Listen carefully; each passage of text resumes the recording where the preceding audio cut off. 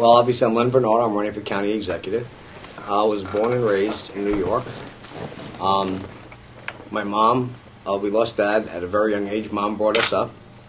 And uh, basically, she brought us up with a couple of uh, issues being dependent upon myself and ourselves and making sure that we work hard and attain things.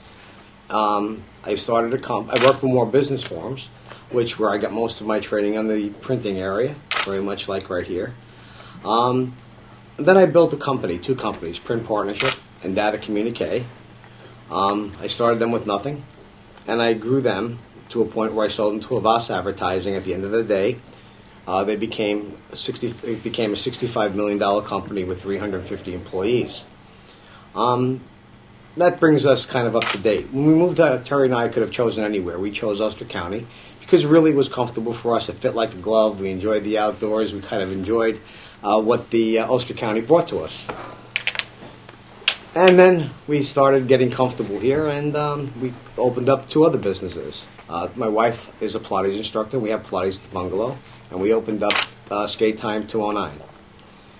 And in opening up Skate Time 209, we realized that um, the trials and tribulations of opening up businesses in Ulster County was not as easy as we thought, but nonetheless, we got through all of the, uh, we mitigated all of the issues, and we opened it, and it's uh, doing very well and uh, we're enjoying a very nice little business there. then came the charter, and um, people said uh, to me, uh, "Len, what do you think about the charter? How you feel about the charter?" And I really thought long and hard about it, and I realized that um, we needed a good government here in Ulster County. Uh, we needed an inclusive government, one that was uh, representative of all of the cu- cultures in all of the towns we needed confidence. I felt the confidence that people had in our local economy and our local uh, government was slipping miserably. We've had failed projects in the jail project. We've had no jobs in three years. Um, there was a lot missing in terms of leadership and organization.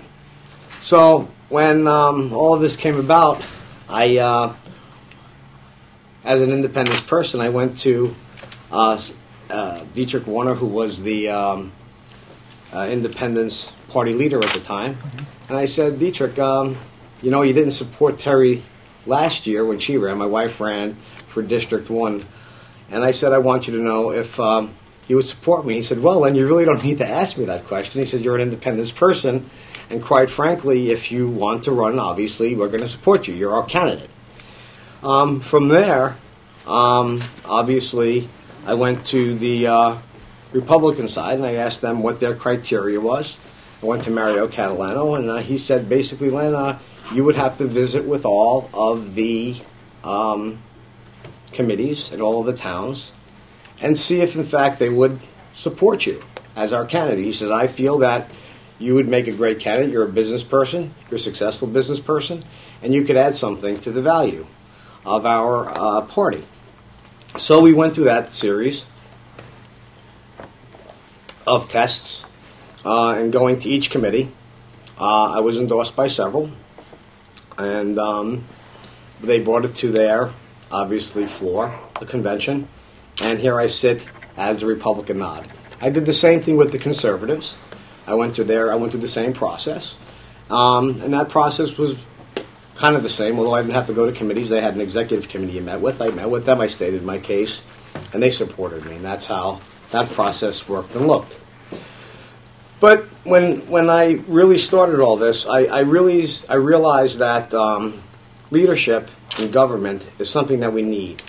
Um, and being a leader, as I was in business, I had to make some very tough decisions. And now, as we are here, we have to make some tough decisions during very tough times.